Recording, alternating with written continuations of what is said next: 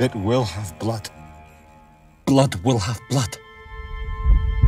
When you durst do it, then you were a man. I go. And it is done. Little water clears us of this deed. How easy is it then? We will proceed no further in this business.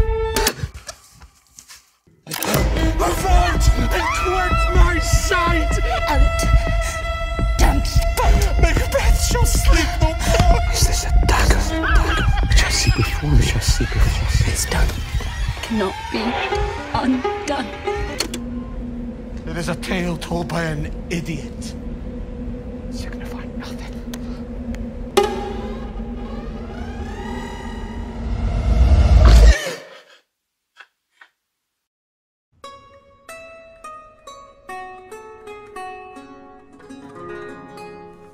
Her name was Artemisia Gentileschi. A brilliant and mercurial painter, a charismatic trickster, a gifted businesswoman, a caring mother with a turbulent love life, and a modern woman in a patriarchal world. She's been sidelined for centuries. Now she's emerging from the shadows as one of the most exciting Baroque artists. Despite much of her work being lost or missing, and many details of her extraordinary story forgotten, there remain new and surprising discoveries to be made.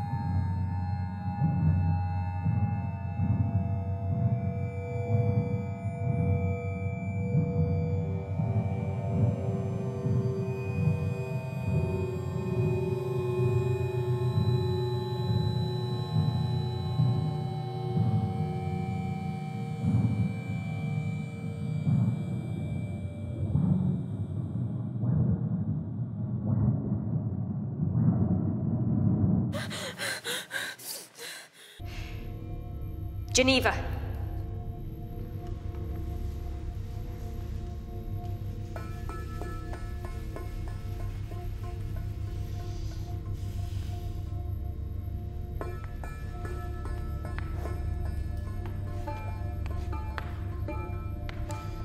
HR equals, open brackets, SU squared, 2 to the power of L slash SU, 2 to the power of N, close bracket.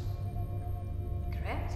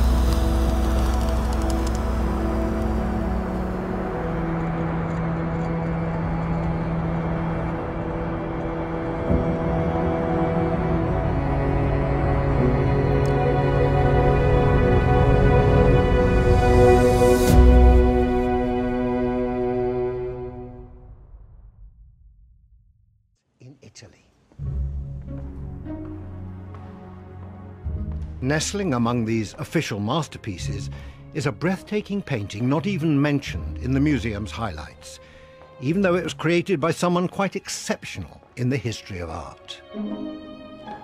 This is one of the most arresting paintings I've ever seen. It's a moment of traumatic violence captured with almost forensic intensity in the detail here. What is happening is that a woman